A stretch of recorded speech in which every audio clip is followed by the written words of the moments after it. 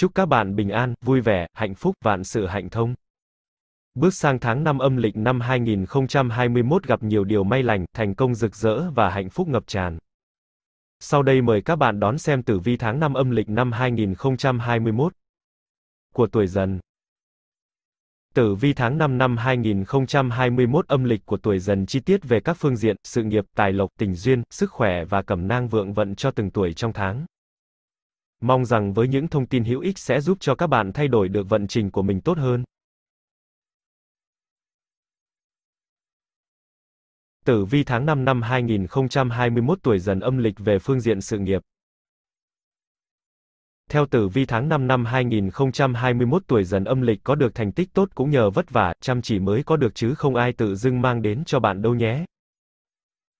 Người tạo ra vận may cho bạn là chính mình chứ không ai khác.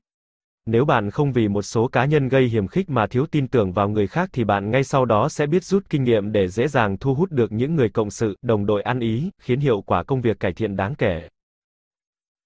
Những nỗ lực hoặc hạt giống bạn đã cất công gieo suốt thời gian qua cuối cùng cũng nhận được quả ngọt nhưng chúng đến muộn một chút.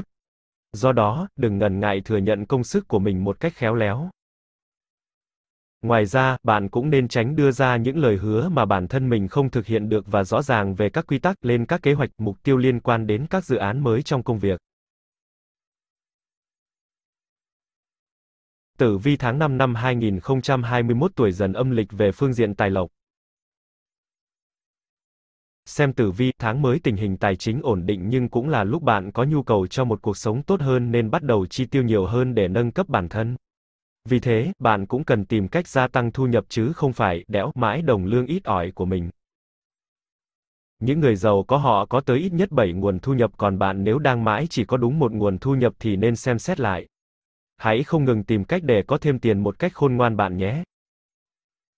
Đây cũng là tháng mà có thể bạn phải chi một khoản tiền để tham gia các khóa học mới hoặc đầu tư cho các sở thích cá nhân. Chuyến đi đến một vùng đất mới, hoặc một địa điểm mới nào đó có thể khiến bạn phải chi một khoản không ít. Không những thế, để làm mới đời sống tình cảm cũng sẽ khiến bạn phải đầu tư tài chính không hề nhỏ. Nếu bạn đã có kế hoạch dành một khoản tiền riêng cho những việc này thì giờ đây không phải lo nghĩ gì quá nhiều cả. Tử vi tháng 5 năm 2021 tuổi dần âm lịch về phương diện tình duyên. Xem tử vi tháng 5 năm 2021 của 12 con giáp âm lịch cho thấy, người tuổi dần rất biết cách kiểm soát cảm xúc của mình, không để cho những suy nghĩ sốc nổi làm ảnh hưởng tới cuộc sống. Mối quan hệ của bạn trở nên tuyệt vời hơn trước rất nhiều chính nhờ vào thái độ tích cực của bạn. Nhờ có tam hợp mà người độc thân hứa hẹn sẽ có đào hoa rực rỡ nếu bản mệnh biết mở lòng đón nhận những mối quan hệ mới, bạn có thể gặp được vài đối tượng. Tuy người ấy có thể chưa vừa ý bạn, nhưng hãy thử tìm hiểu thêm nhé. Đối với những cặp đôi, đây là khoảng thời gian tuyệt vời để bạn và nửa kia hâm nóng lại những cảm xúc mãnh liệt của thời mới yêu. Nhất là thời gian cuối tuần, hai người nên dành những buổi tối lãng mạn bên nhau hoặc cùng nhau đi chơi xa để làm mới tin Fiesta nhé. Những vấn đề của người thân trong gia đình mới thực sự khiến con giáp tuổi dần cảm thấy phải lo lắng nhiều nhất trong tháng này. Bát bạch bay về phương đông gây bất lợi cho trẻ nhỏ, thành tích bị sút kém, chú ý tới tâm lý của trẻ.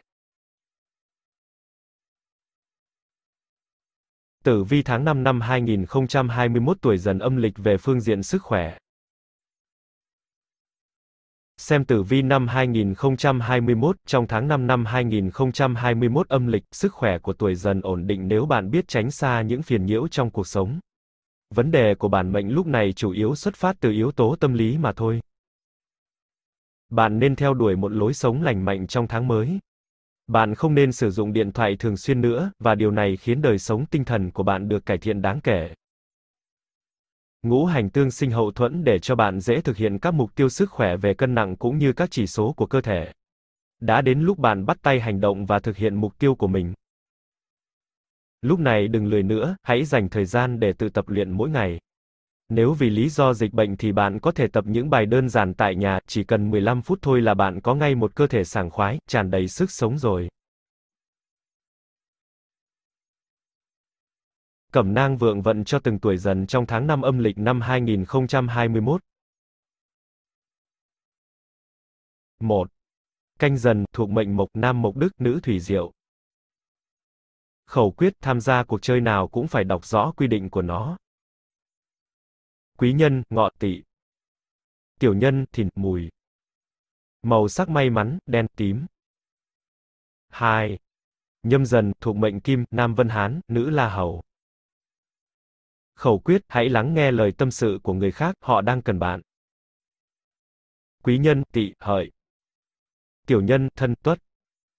Màu sắc may mắn, cam, xanh lá. 3. Giáp dần, thuộc mệnh thủy, nam thủy diệu, nữ mộc đức.